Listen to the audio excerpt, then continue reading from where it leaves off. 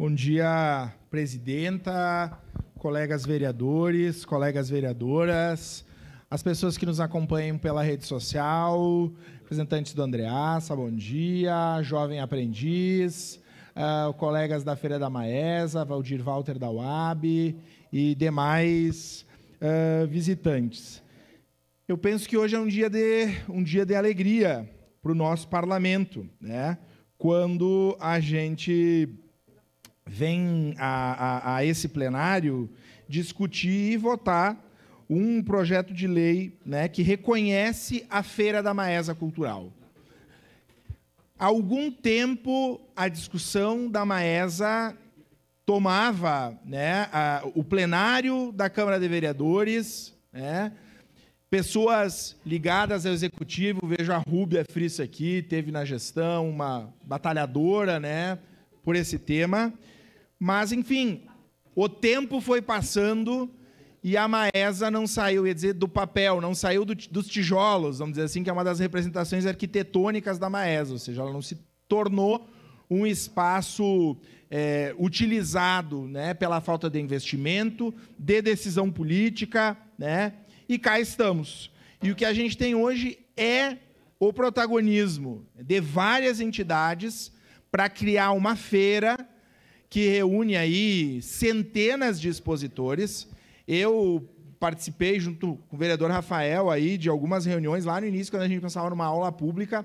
Na primeira, no primeiro final de semana que teve a feira eu estava com covid, por isso não não participei lá na Maesa, mas quero dizer que para mim isso é um prenúncio, né? É uma é, é uma ação timoneira nesse processo em que o governo municipal, né, me parece que reconhece a importância, mais uma vez, mas que nós precisamos fazer as coisas acontecer. Então, o povo vai estar utilizando, né, vai estar lá vendo a Maesa, mesmo que na parte externa, e certamente esses expositores, as pessoas que forem participar da feira, elas vão estar é, cobrando do poder público e esse percebendo cada vez mais a importância de ações efetivas para que essa feira Oxalá que logo ela possa acontecer dentro da Maesa. Porque eu acho que é essa a nossa intenção.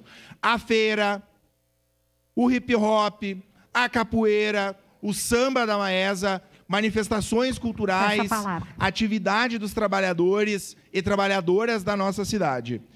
Então, é, eu fico muito feliz.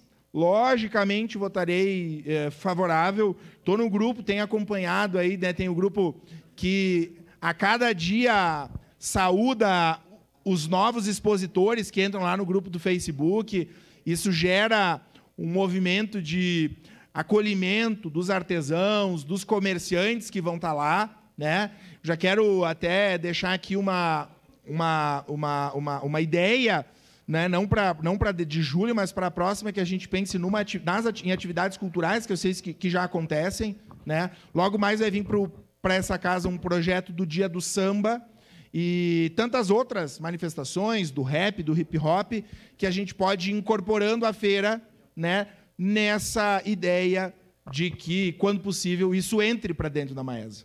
Acho que é isso que é muito importante. Uma então, reconhecer isso. Eu lembro de ter lido, na minha graduação de História, o trabalho do professor Valentim Lazarotto, saudoso professor da UX Valentim Lazarotto, que falava uh, do sangue e do suor dos trabalhadores que deram a sua vida na Maesa, né, gente? A Maesa respira, né, e exala o cheiro do trabalho de homens e mulheres que passaram construindo e gerando a riqueza da nossa cidade. Então, voltar esse espaço, essa luta pela utilização, de que, ela, de que ele seja um espaço democrático, amplo, ele é muito importante. E a feira, eu acho que surge da sociedade civil, apoiada aqui pelo Legislativo, pela nossa frente da Maesa e por tantos outros apoiadores, ela é de extrema importância. Vereador Cadore, sua parte.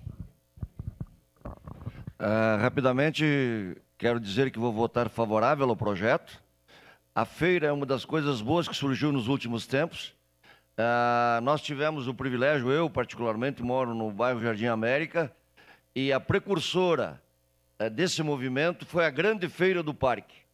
É uma feira, como foi dito aqui, tem hoje praticamente 300 expositores, envolve a sociedade, envolve os pequenos empresários, os microempresários, a, empresa familiar, enfim, o resultado é extremamente positivo.